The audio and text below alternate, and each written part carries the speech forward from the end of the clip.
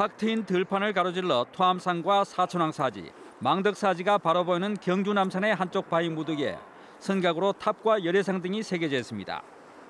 1994년 향토사학자가 발견해 처음 학계에 보고했는데 이 선각 감실은 보물인 대구 송림사 전탑에서 나온 사리 장엄구와 거의 흡사한 모습입니다.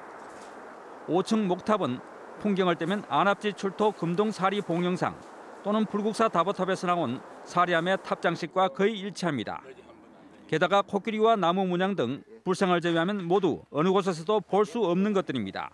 아주 특이한 도상들이죠. 다른 데서는 볼 수 없는. 네, 그래서 아마 신라 게 맞다면은 신라 시대에 그림을 볼 수 있는 굉장히 중요한 자료가 될 수도 있는 거죠. 바위 옆면에도 윗부분이 깨졌지만 삼존불의 아랫부분이 세밀한 성각으로 잘 묘사되어 있습니다. 5층 탑과 10구의 불상, 코끼리상 등은 시기를 달리해 새겨졌을 것으로 보이는데 그동안 단 한 차례 제대로 된 조사 없이 20여 년이 지났습니다.